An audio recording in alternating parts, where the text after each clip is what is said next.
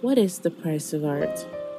That's really hard to say because art is an expression of the soul. That is why we decided to pick the minds of some artists in our debut series, Meet the Mind.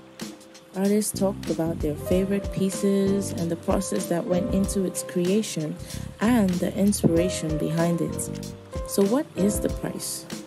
Maybe you can answer that question after the next series